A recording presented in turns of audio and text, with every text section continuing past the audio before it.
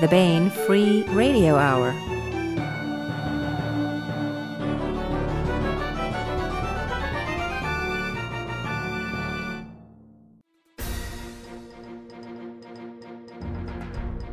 On the podcast, something super crappy is lurking beneath the waters at a summer resort.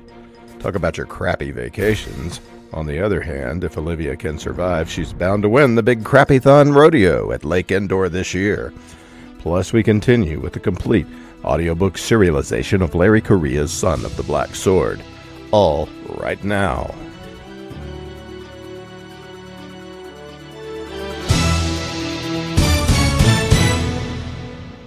Welcome to the Baen Free Radio Hour podcast. It's an honor to have you along.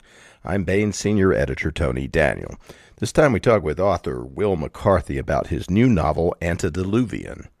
Wil tells us about some of the research behind this very cool tale of a scientist accessing his own quantum memory states in order to visit humanity's primordial history, and the very real places where and people from whom so many of our ancient archetypes and myths arose.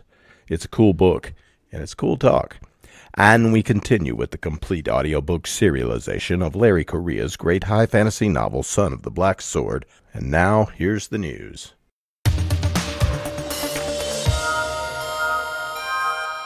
The October mass market paperbacks are blasting forth like bats from Carlsbad caverns in the summer, but in this case, filling the sky with reading goodness for readers to grab like an eagle snatching a bat and consume it with your mind. Ooh, scary. So decorate your October with some great mass market paperbacks.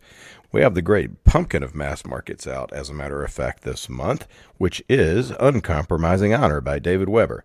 The time has come. The Manticoran Star Kingdom and its allies go to war against the massive and corrupt Solarian Empire. After a tragic loss, Honor Harrington enters the fray once again. She's filled with steely resolve, possessed of cold competence, and motivated by a fiery determination to take the fight to the enemy and end its menace forever. Also out in mass market in October is Star Destroyers, edited by Tony Daniel, yours truly, and Christopher Ruocchio. Big ships blowing things up.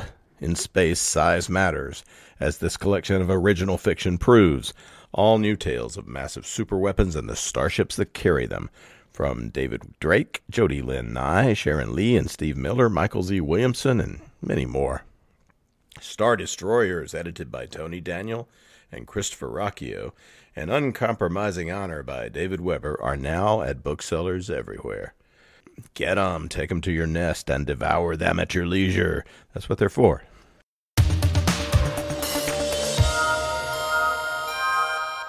I want to welcome Wil McCarthy to the podcast. Hello, how's it going, Wil? Going great. How are you? Pretty good. Um, engineer, novelist, journalist, entrepreneur Wil McCarthy is a former contributing editor for Wired magazine and science columnist for the Sci Fi Channel. He has been nominated for the Nebula, Locus, Theodore Sturgeon, and Philip K. Dick Awards, among others. His short fiction has graced the pages of Analog, Asimov's Wired, and SF Age, and his novels include the New York Times notable uh, Bloom, and, oh, that's the novel. It's named Bloom, of course, and uh, Amazon.com Best of Y2K, The Collapsium, one of the coolest titles of any science fiction book ever, uh, a national bestseller. We're going to put that. We are reissuing that, correct? Yeah. Um, Baen will have it out in the in the spring, I believe. He has written for TV, appeared on the History Channel and the Science Channel, and published nonfiction in half dozen magazines. Previously a flight controller for Lockheed Martin's Space Launch Systems and later an engineering manager for Omnitech Robotics, and founder, president, CTO of Ravenbrick LLC. Uh, Wil now writes patents for a top law firm in Dallas and holds a bunch of patents himself in a bunch of different countries.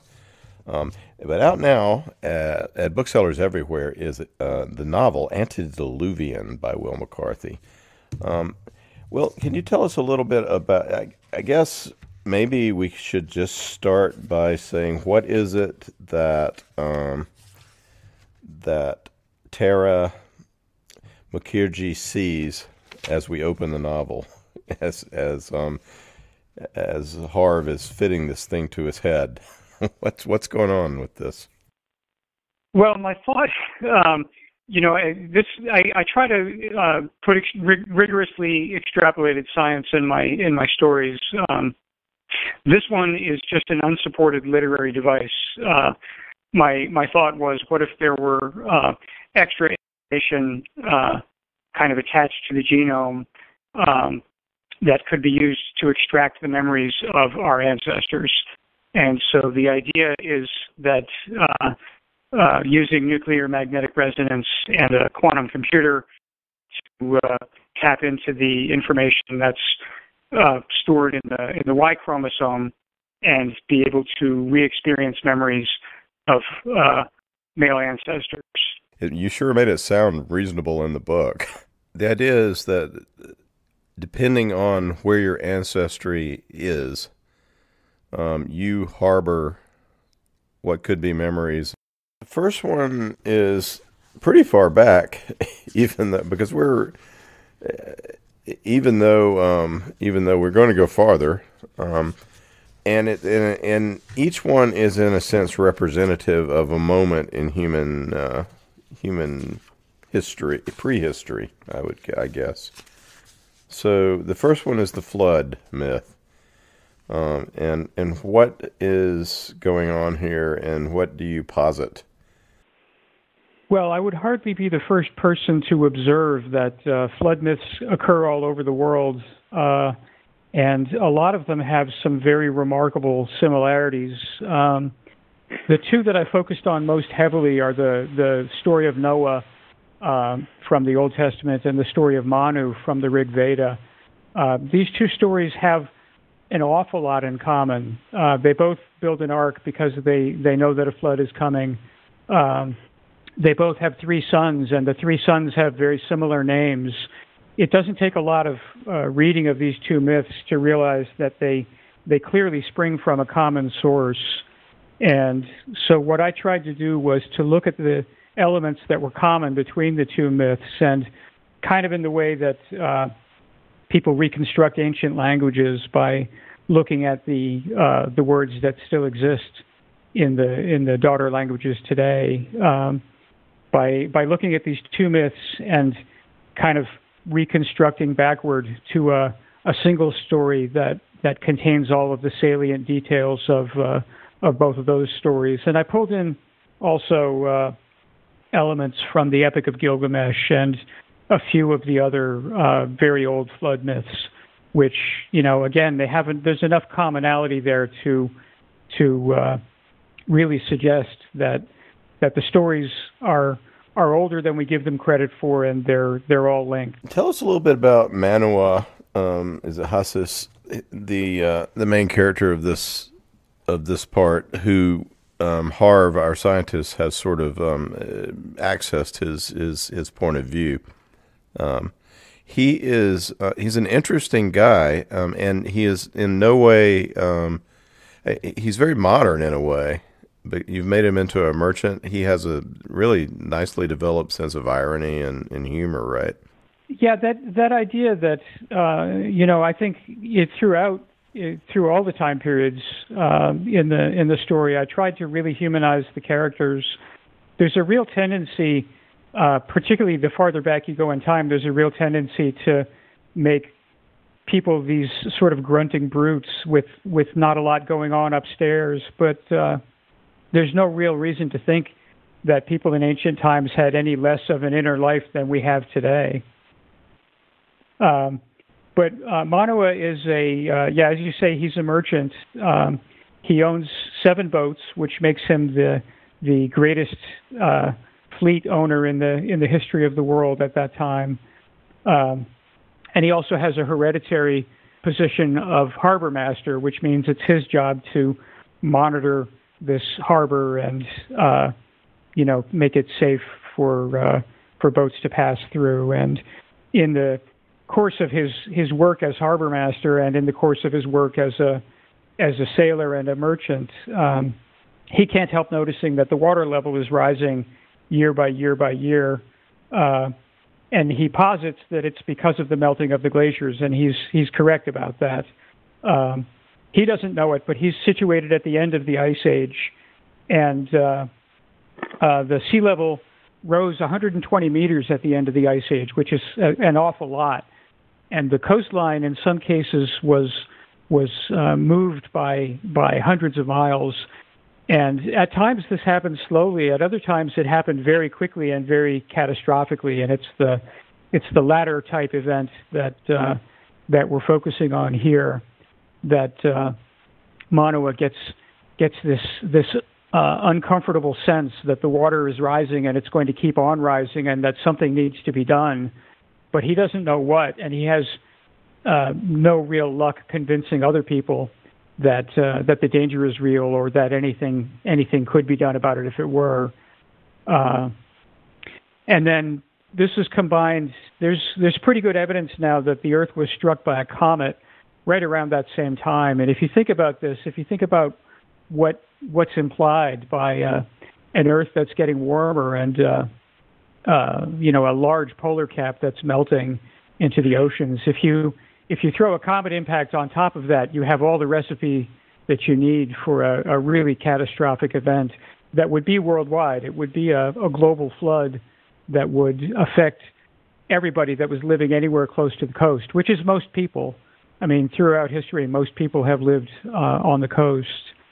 And uh, we also know, um, due to a variety of archaeological evidence, that uh, there are megalithic structures. There are, you know, cut stone cities on the on the floor of the ocean that haven't been above water for 10,000 years.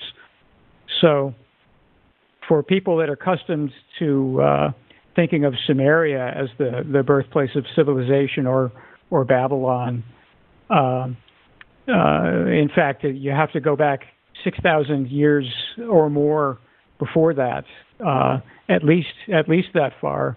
Uh, people were were already building cities. The reason it's not part of our recorded history is because those cities were literally destroyed in a literal deluge, and they're at the bottom of the ocean now. Yeah, and, the, and they archaeologically exist. We know, right? Yes, that's correct. Um, and the thing that's interesting is how kind of fragmented that knowledge is.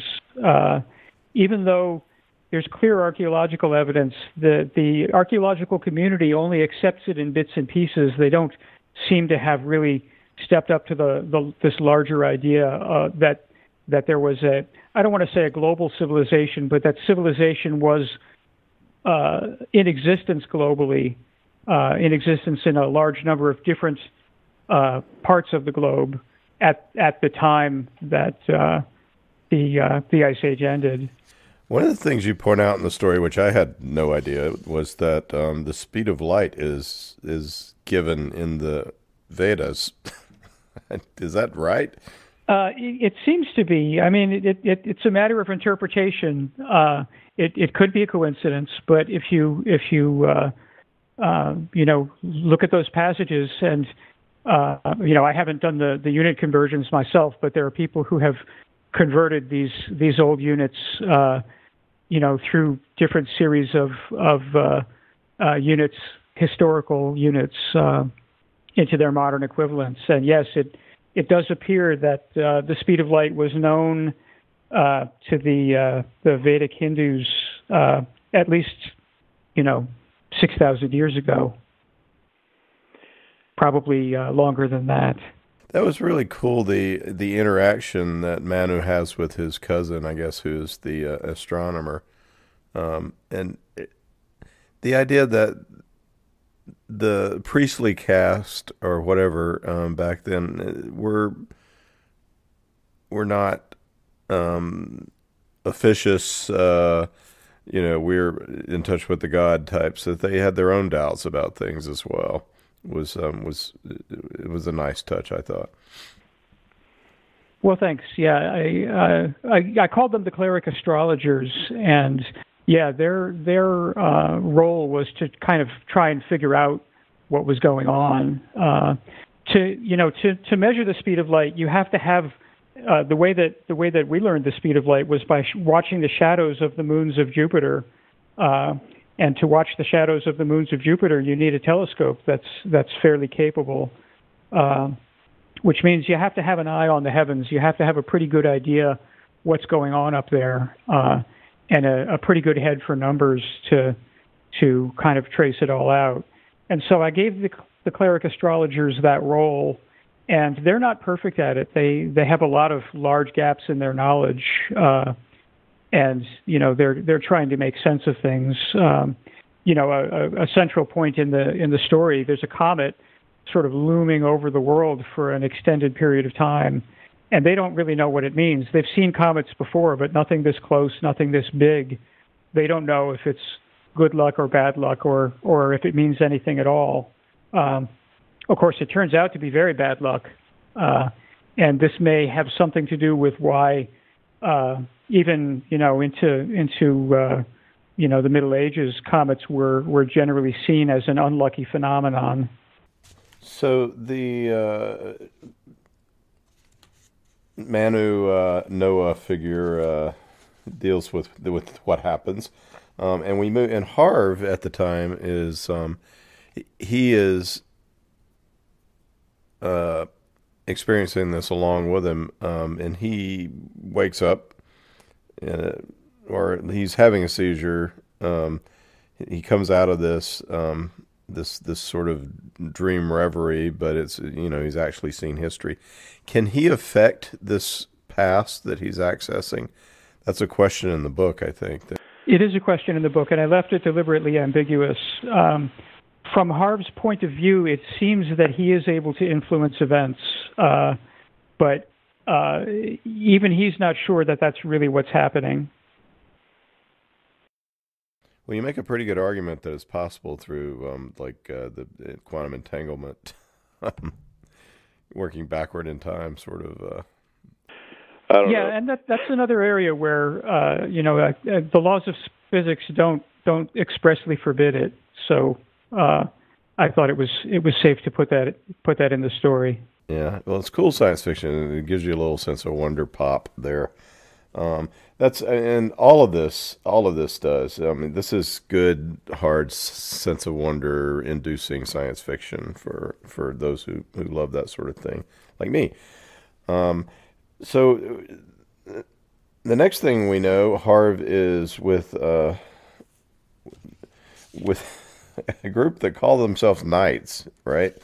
Um, and they, uh, but this is way farther back, even than uh, well, it's farther back even than uh, than Manu and uh, the Manu Noah guy.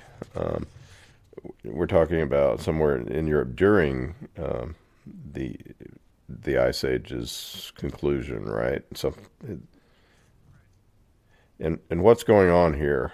Um, well, this is, uh, as you say, it's much farther back. It takes place about thirty thousand years ago, and again, this is sort of um, I don't want to describe it as fringe archaeology. It's it's real archaeology, but it's not necessarily widely uh, uh, discussed.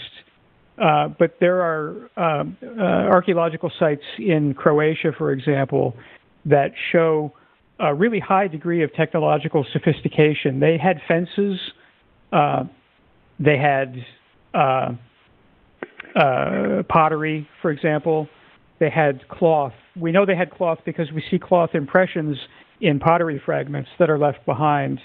and all of these things supposedly weren't invented for another 20,000 years. Uh, but we find them in these weird kind of anomalous patches in Europe.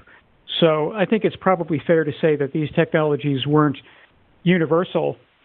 They weren't necessarily widely distributed, but they did occur in pockets very far back in time. And these are sort of the, the proto civilizations. They didn't cut stone blocks, they didn't build, uh, you know, megalithic architecture, but they did stay in one place and uh, you know they they harvested the same plants over and over again. They didn't necessarily uh, sow seeds into the ground, but they did practice sort of rudimentary agriculture in the sense that they would harvest the cereal crops that that grew in these valleys. Uh, you know, just harvest them year year upon year. Um, so I just thought it was really interesting to have this idea that that uh, a, pocket of of anomalously advanced people um, and the other thing that we know about this time period, of course, is that humans were coexisting with Neanderthals at that time. And I thought, wouldn't it be interesting if if there were Neanderthals that were adjacent to one of these uh, regions of of uh, you know advanced human uh, society, and uh, so that's kind of the the genesis of the story.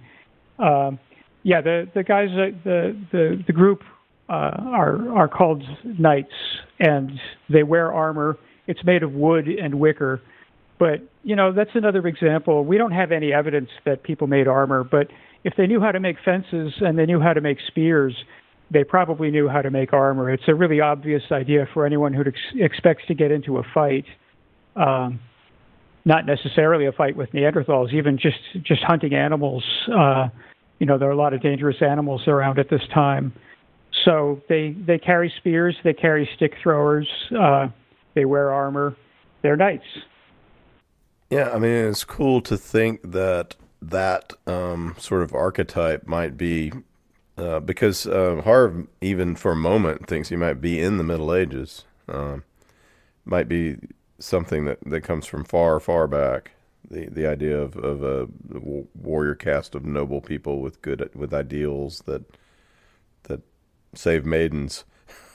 Sure, sure. And you know, if you if you ignore uh, just a handful of technological details like like the presence of metal, uh, I think that some of these uh, you know deep in the ice age, some of the the villages that you would encounter at that time would have a lot in common with uh, medieval villages in some of the same areas. Um, but of course, the Neanderthals uh, they're called trolls, and they're viewed as monsters although arguably, uh, you know, they have rich inner lives of their own and they have their own uh, motivations for doing things. So it's not necessarily the Neanderthals that are the monsters in the story. Yeah, and they uh, and you make them gingers, which I thought was odd and interesting. so, I guess so that they could be uh, susceptible to sunlight. Uh, yeah, I mean they're there actually uh, was some thought at around the time that I was starting this book. Uh, there was some thought that the red-haired gene in um, in humans was actually part of our uh, genetic legacy from the Neanderthals. That uh, you know, there's there's known to be interbreeding. Most modern humans have a few percent of Neanderthal DNA uh, uh, inside them, and it was thought for a while that uh, red hair was one of those traits that came directly to us from Neanderthals that it hadn't hadn't existed in the Homo sapiens genome prior to that. Um, we now know that that's not true. We know that the Neanderthals, though, did have their own red-haired genes and and blonde-haired genes. Um, they're uh, from what we're able to, you know, from what little we're able to glean, uh, there was quite a different variety of uh, um, genes for expressing hair color and eye color. Uh, but yes, I did have this idea that that uh, you know we have this myth of trolls that are that are sensitive to to sunlight. They don't go out in the day. They hide under bridges and things like that. And I just thought, well, what if that were true? What if what if that were literally uh, a memory? That's where troll. And you you have uh, another monster. Um, show up, who which is uh, you posit a, a, memory of a of a beast that um, was a primordial um, early Cenozoic beast, right? The you call it a bulis, which is actually the name of of one of our cats. Uh, but uh, no, the um, uh, creature is called an elasmothere, uh, and it has a lot in common with the the kirin uh, or or Asian unicorn, um, which there's some some evidence to su- suggest that the elasmothere might actually have survived into historical times and been recorded as the as the kirin um, and given us a lot of our a lot of our unicorn myths. Um, but unlike a unlike our vision of a unicorn, the the elasmothere was a very robust creature. It was kind of halfway between a unicorn and a and a rhinoceros, um, and uh, would have been would have been quite a, a terrifying thing to encounter. And the Cro-Magnon people you have there are they, Are Europeans descended from people that were in Europe 20,000, 30,000 years ago? Uh, yeah, I think so. Uh, it, it, it's hard to say exactly what went on, uh, exactly where, but yeah, the best evidence is that the Cro-Magnon people uh, were were recent immigrants from Africa at the time that this story takes place. That they would have moved in there, you know, within a few thousand years of uh, of when the story takes place. So these probably would have been dark-skinned uh, people, and they were um, uh, slightly larger than the humans of today, uh, although not as large as the Neanderthals. The Neanderthals were a little bit shorter than the Cro-Magnons, but they were a lot more robust. They had a lot more a lot more meat on their bones. Uh, but yeah, this this idea that you have you have dark-skinned Homo sapiens encountering light-skinned Neanderthals, uh, and you know each of them regarding the other as as monsters. And then we get uh, Harv cycles again, and and we go to the Garden of Eden.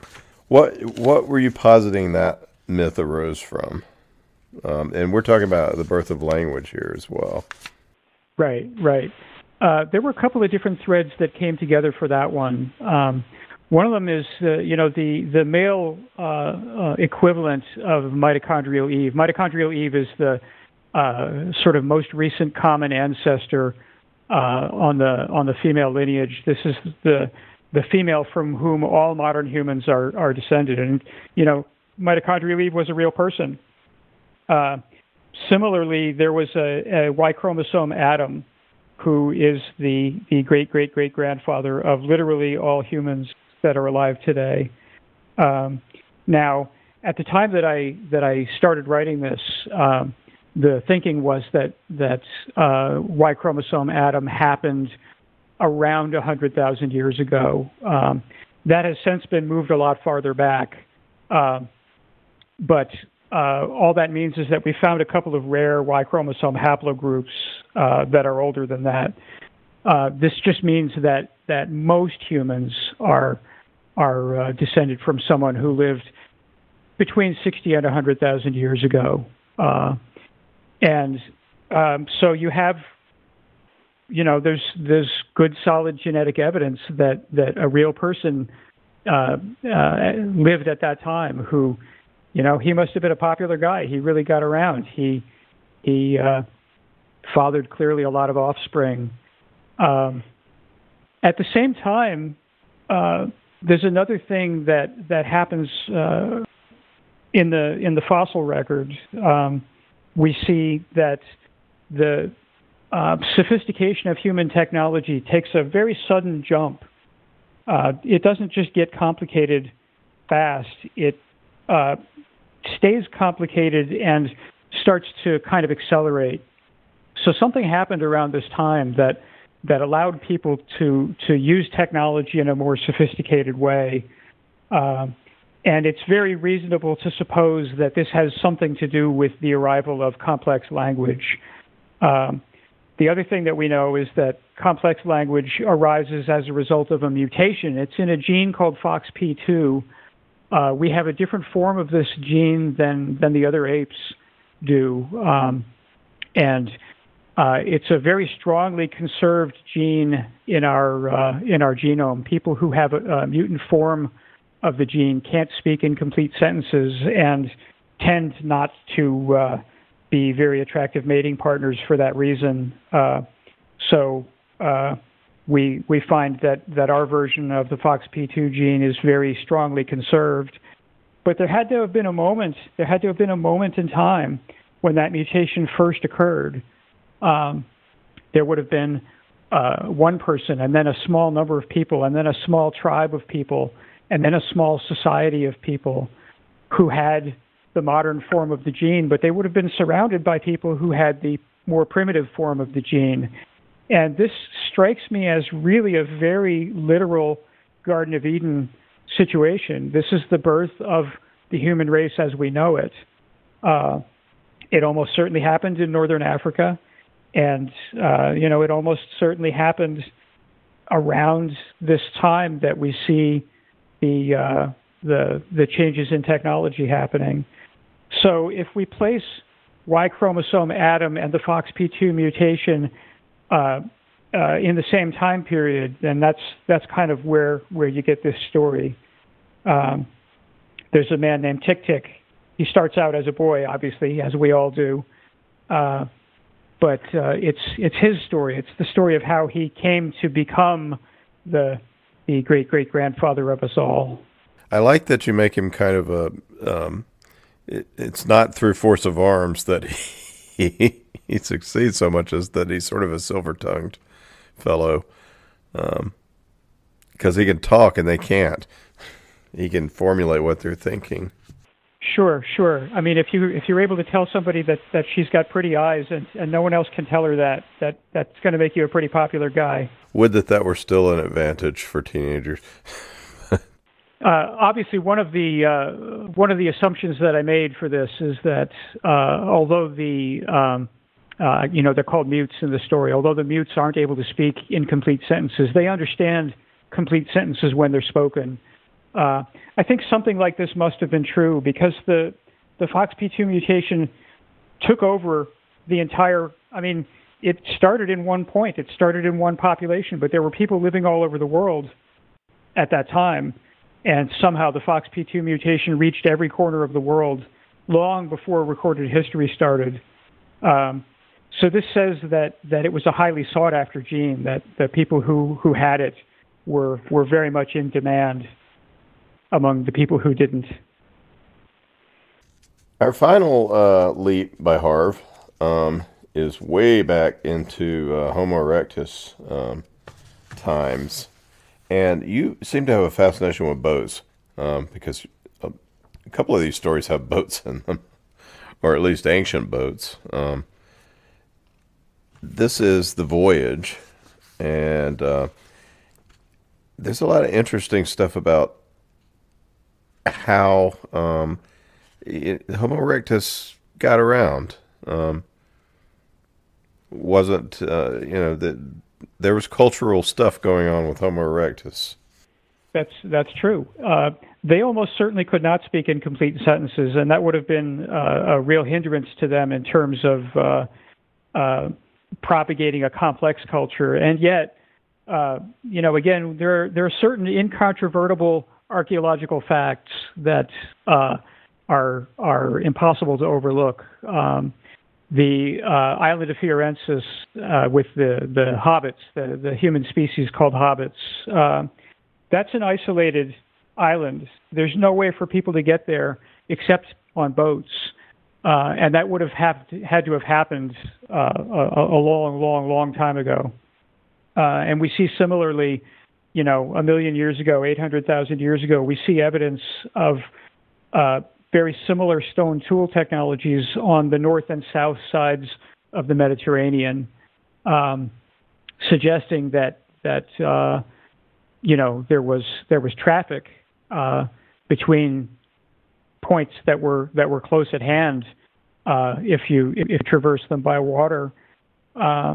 Uh, so the conclusion is really kind of inescapable that that uh, Homo erectus is not the grunting, stooping caveman, uh, uh, but in fact a, a, boat builder and and you know probably a house builder and uh, you know they they had a a lot more sophistication than than we give them credit for, and that's again that's kind of a running theme throughout that uh, I, I just tried to uh, sort of put myself or the people that I know into these times. Just because Homo erectus couldn't speak doesn't mean he couldn't think. It doesn't mean that these people uh, didn't have rich and interesting lives. It didn't mean that they they didn't you know fall in love or get jealous or or uh, you know stare across the water and and wonder if they could uh, could get there. And our, our main character is um, he, he has this yearning, yeah. And uh, what is it? I mean, I I can't imagine. I mean, most animals I don't imagine have a yearning to travel, uh, except to go find some food or something.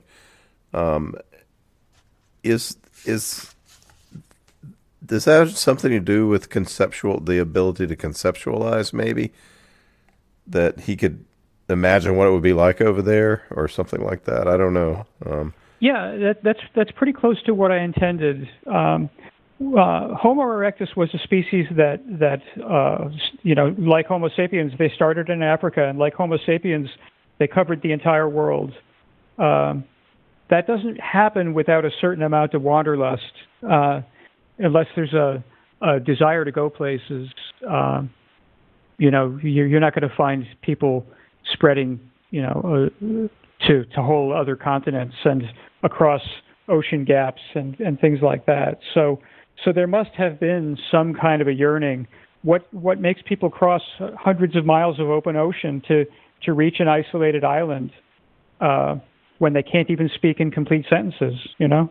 That's a really cool. Uh, it's a really cool way to uh, to to end Harv's journey into the into the past um, for the moment. Uh, so what do you uh, I, I really like um, we probably shouldn't i don't want to say how it ends but um, the, um, his girlfriend has some doubts after she knows that he harbors this gene of of whether or not she wants to have babies with this guy because of all these this huge past that belongs to him right? Um, I know it's a science fiction conceit, but is there any uh, way that you think, as Wil McCarthy, that um, somehow some of these myths and archetypes that are that we find within culture um, have their being somehow inside of us in in such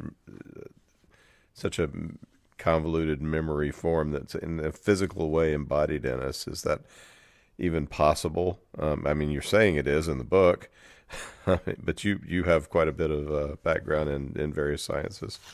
Um, speculate for a moment in real life. Tell me what you think. If nothing else, Tony, we do have language, uh, and you know it's clear from from our our oldest stories, from the flood myths, for example.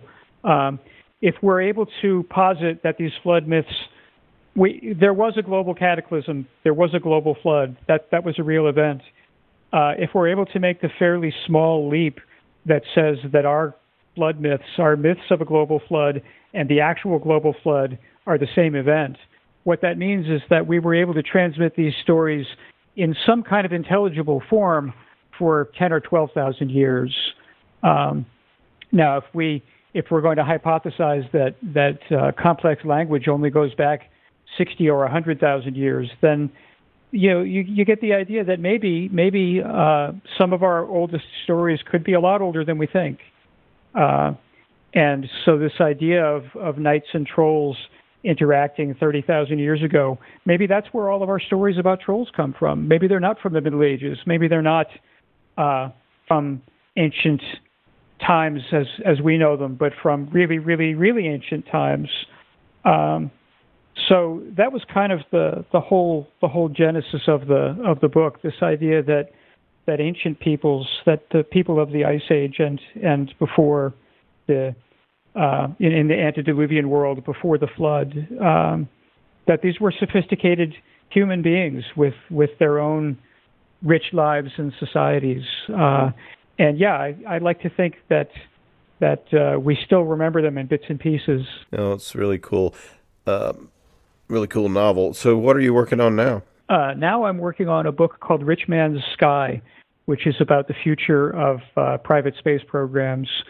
My thought is that uh, you know I'm I'm a big proponent of uh, private space programs. They have some clear advantages over over government-run programs, but the the one clear disadvantage is that the uh, the egos of a small number of individual people wind up being a very large driver of events, uh, and so that's uh, that's what the novel is about. So, from the distant past to the cutting edge uh, future, or near future, looking forward to that enormously. Um, but out now at booksellers everywhere is Antediluvian by Wil McCarthy. Um, well, thanks so much for uh, talking to us about about the novel and the, the amazing ideas that you have uh, you've embodied in it. Thank you, Tony. I had a great time.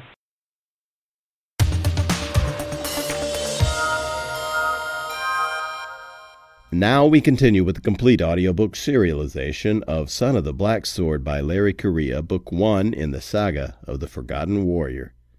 After the War of the Gods, the demons were cast out and fell to the world. Mankind was nearly eradicated by the seemingly unstoppable beasts until the gods sent the great hero Ramrowan to save them. He united the tribes, gave them magic, and drove the demons into the sea.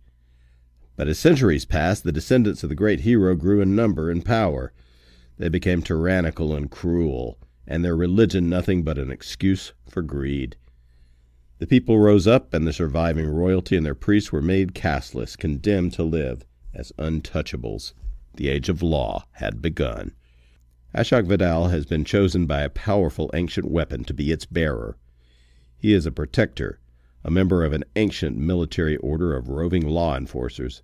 No one is more merciless in rooting out those who secretly practice the old ways as Ashok. But Ashok isn't who he thinks he is. And when he finds himself on the wrong side of the law, the consequences lead to rebellion, war, and perhaps transformation. Now, here is the latest entry in Larry Correia's Son of the Black Sword. Chapter 39 Are you certain it was him? Positive, Sikasso. It is either the fallen or the swiftest warrior who has ever lived in Jarlang, dressed as a merchant. He just dropped four men. Bolatar drew one of his many daggers, held it out, and then let go. It stuck point down in the dirt between them. In the time it took a knife to fall. None of his men were given to much exaggeration, and Bolatar's magical constructs not only looked like hawks, but they had the vision to match. Very well. Sikasso nodded. That has to be him. I don't know Jarlang. Where is it? Bolatar unrolled his map and pointed at an area in House Thau lands. About here, in a canyon off the trade road. The fallen wasn't that far away, especially to those who could soar above the mountains. Sikasso glanced around the camp. There were four of his men here. The rest of them were spread out across the other houses that bordered Vadal, all on the lookout for their target. Now that Ashok had been spotted, they could track him, as the Grand Inquisitor had commissioned them to do, and make sure there was sufficient carnage left in his wake. Do we follow him? That's what we've been hired to do. However, if they waited like they were supposed to, there was always the risk that the precious sword would be lost, or worse, fall into the hands of rival wizards. The Lost House had big plans, and needed that black steel. It was always better to have such things sooner rather than later. His subordinate knew what he was thinking, and Bolatar was just as eager to get that sword as he was. The Fallen has proven to be a slippery one, but he'll be stuck in Jarlang for a bit. I doubt he knows it yet, but a flash flood wrecked the bridge back to the trade road last night. The only other clear path is up the mountain toward the Somsak homeland. Unless he wants to try climbing up canyon walls covered in ice sheets, he'll be there until it melts some. How big is this place? Maybe a thousand people, a handful of warriors, and I didn't see a single banner of the first caste. If it wasn't for a favourable mountain wind, I never would have seen the place at all. No one will miss it. I doubt any of these poor mountain folk are personally acquainted with the Grand Inquisitor. Sikasso mused. You make some good points, Bolatar. Dead now, dead later. Really, does it matter as long as the work gets done? Bolatar had a savage grin. Come on! You know you want to kill this bastard and be done with it. Do you really want to waste our time following the Black Heart all over Lok? And what happens when he realizes he's being followed? Better to strike while he's unaware. Omand never has to know. The others had heard the conversation and stopped their meditations to listen. They were all looking to Sikasso for permission. Their hungry expressions reminded him of the poppy addicts he'd seen in the hidden smoke dens of the capital. His men were desperate for new magic. If he didn't allow them to strike now, it was only a matter of time before one of them stepped out of line and made a move on his own. Sikasso walked to the edge of the cliff and looked across the ancient mountains of Thau. The view was breathtaking, displaying miles and miles of new ice and rising steam. The five wizards had made camp perched high in the peaks, because how could anyone hide from you when you could see the whole world? For five generations, his people had remained hidden. In the official histories, his house was listed as extinct, their bloodline extinguished, and their heritage erased. They had once been the greatest wizards in the world, so mighty that they had threatened to upstage the law itself. So the Capitol had crushed them.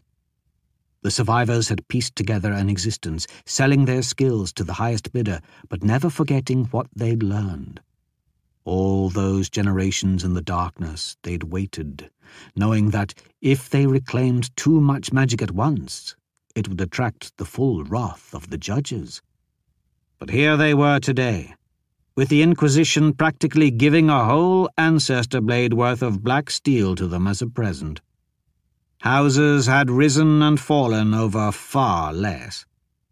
And if he could take Angruvadal whole, that would change everything. From Sikasso's lofty vantage point, the terraced hills of the Thau farm country seemed unnatural far too orderly and sculpted to exist in such a rugged place. His eyes followed the mountains until he found the steep canyons where Jarlang lay hidden. Something on the mountainside above that was reflecting the sunrise. Glass, or polished metal, perhaps. There was no way to tell from here.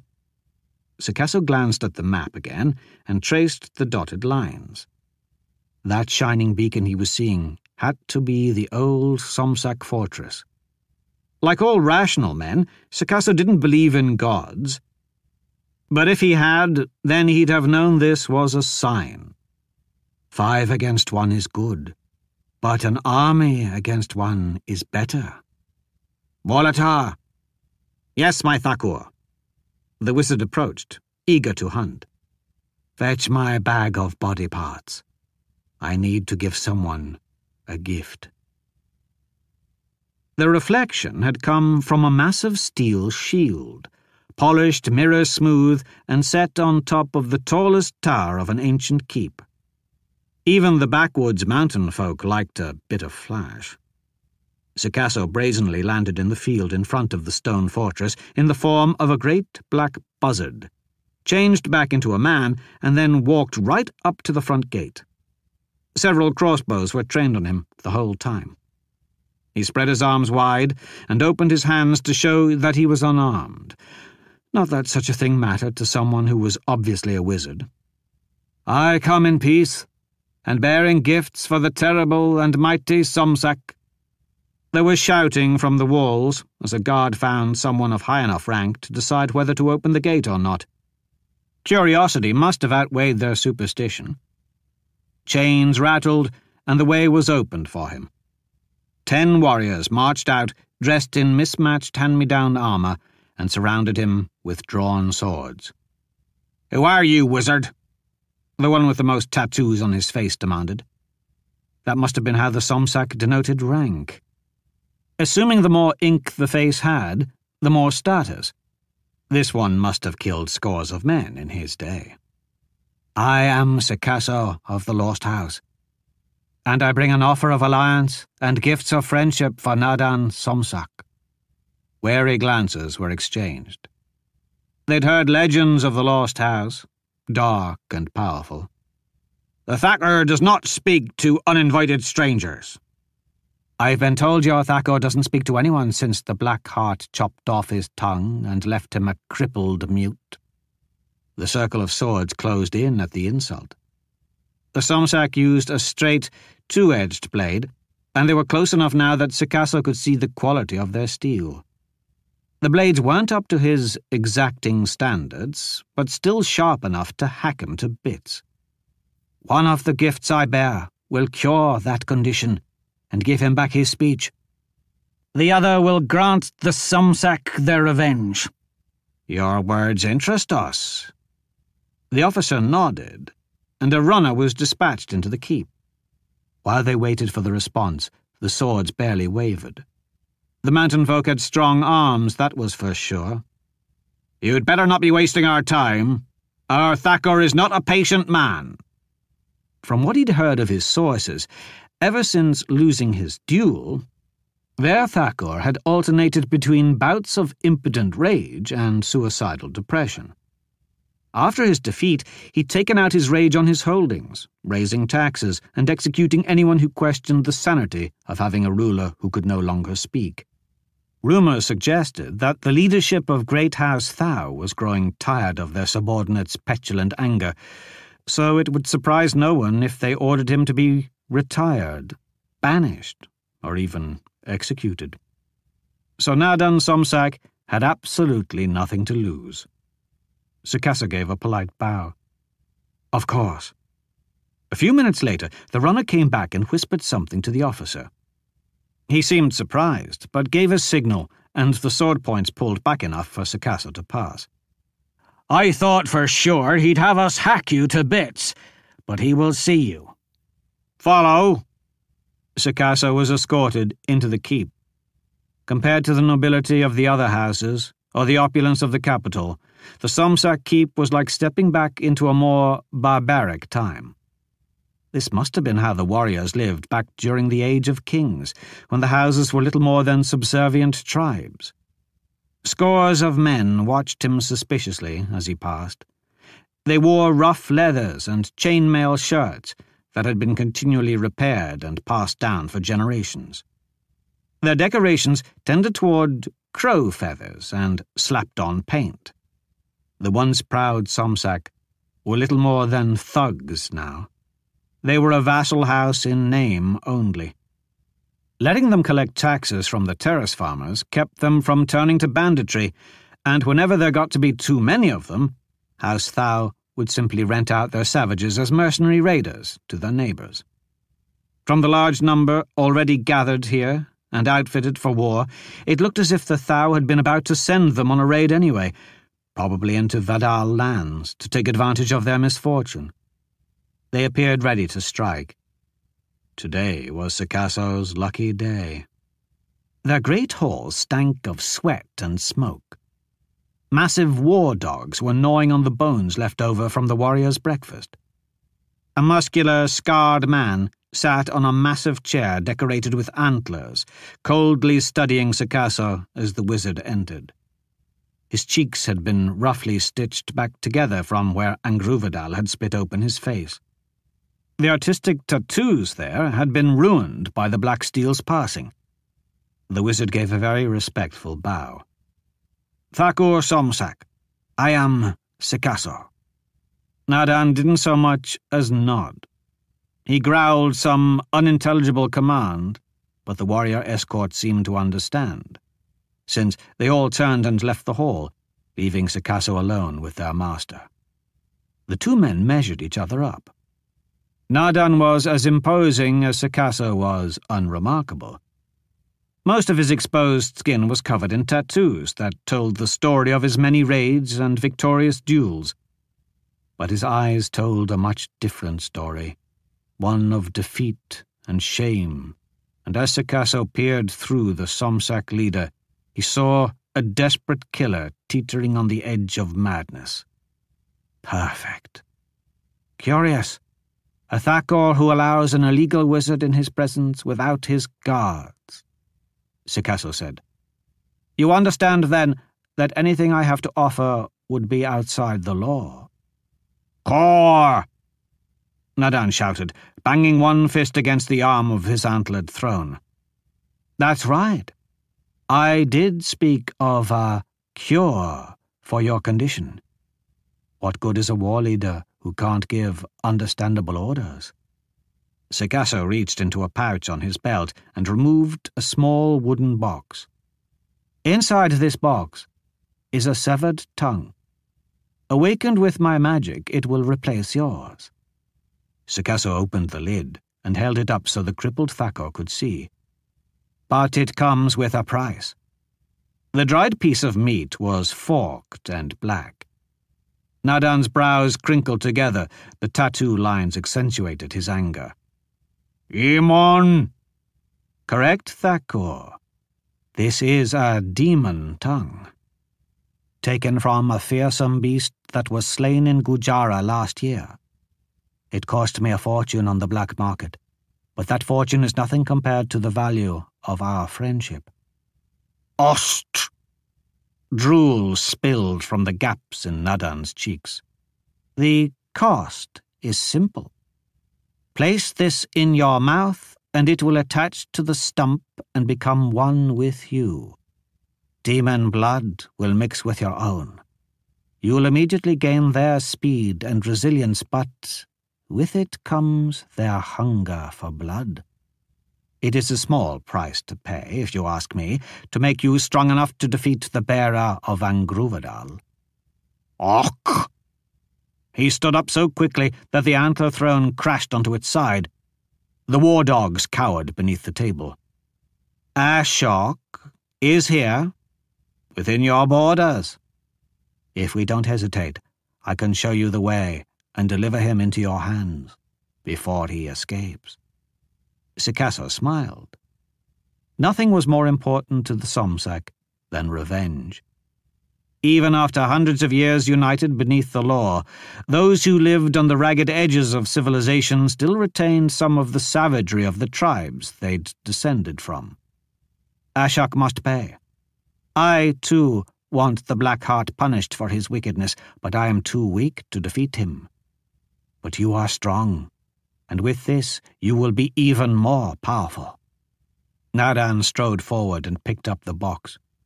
He plucked out the forked tongue and held it up to the beam of sunlight coming through the tall window. The desiccated flesh seemed to soften around his fingertips, becoming as vibrant and slick as when it was still alive.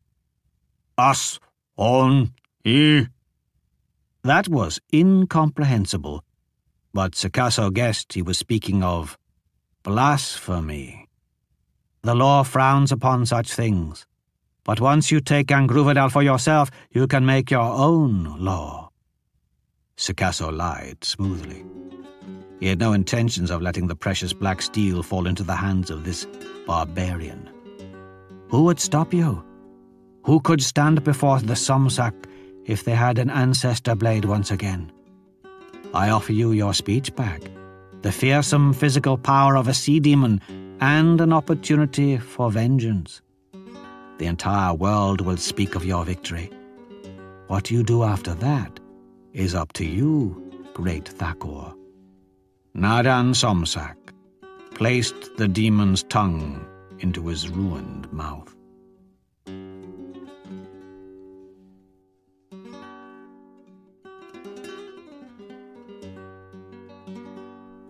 That was another entry in the complete audiobook serialization of Son of the Black Sword by Larry Correia. And that's it for the podcast. Thanks to Audible.com. Thanks to Baen intern Caroline Irwin, and to podcast theme composer Ruth Judkowitz. And a 25,000 year old cuneiform tablet chiseled with the first writing by humans which happened to be a cliche ridden cyberpunk novel retread that was instantly rejected by the five publishers of the time, and so set the birth of human writing back by 15,000 years, but is still very collectible today. Plus, thanks, praise, and plaudits to Wil McCarthy, author of Antediluvian, which is not any kind of retread at all, and a very cool book. Please join us next time here at the hammering heart of science fiction and fantasy, and keep reaching for the stars.